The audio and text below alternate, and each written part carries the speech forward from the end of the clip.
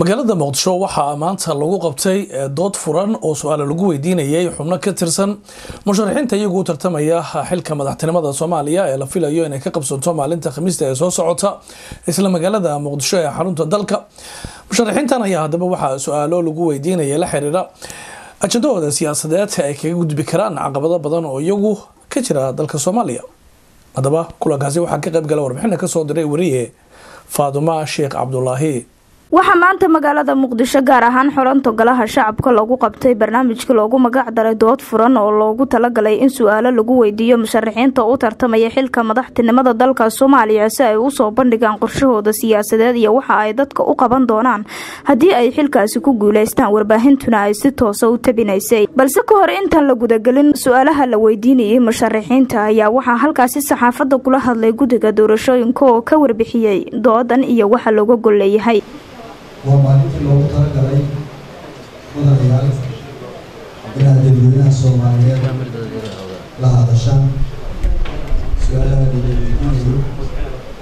sida ay idinla tahay fikirkiina wuxuu yahay waxaad u malaynaysaan in ay idin idin kaalmeynayaan si madaxweyne noqotaan dadka soomaaliyeed aad sheegtaan oo sharaxdaan waktiga iyo su'aalaha waxay noo daadiyin doonaan yuusuf xasan oo halka bidixdeeda joogaan marka gelinka hore waxaan ugu talagalnay saddex iyo labaatan weeyaan ilaa toban baan ugu talagalnay tobankaasaa markaa kulgolka ka yimaadeen shaqada waa bilaabanayna waxaan filayaa dadka soomaaliyeed inay dhegeysanayaan adduunyada dadka waxaa lagu kala doortaa waa la dhegeystaa waxay odhanayaan ayaa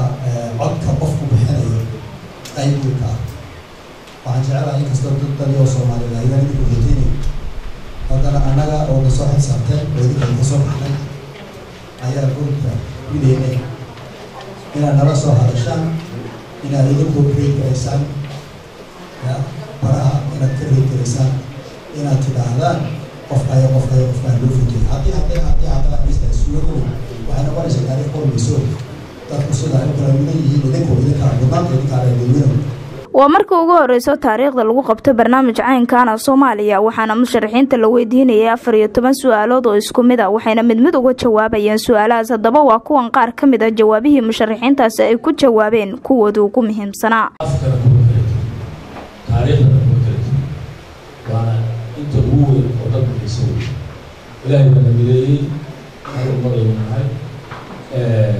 laakiin waxbaa la kala tabanaya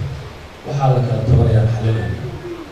oo aan muxuu ahaa isku dayaynaa inaanu sida ugu habboon adowga waxay tabanayso ogaadana somalilan ama dowladda waqooyi keliya ma aha waxaa midnaba la'aanta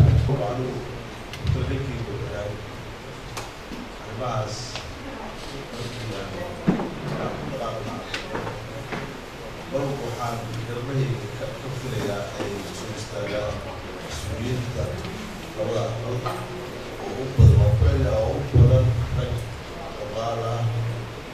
oo fahimka arrintaas ku wadaan wadadadii hore u bilaabeen waa sii wadi doonaa halkaasaan ka bixinaynaa gobollada soomaali loo helo mida waayo waddanku kumama gaari karo yani hadduu marxaladaha marxalada ku jiro madaxweyne wala yimaadaba oo aan bilaabin qodobada ugu horeysa inuu dib heshiisiin bilaabo inuu dadku isku keeno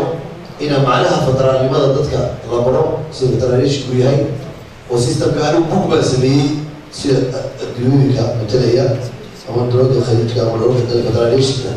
sida loo kala qaybsanayo iyo sida awoodiisu yahay. Marka taas insha allahu tacala marka loo soo bandhigo beel qaybsi waxaa la yidhaaho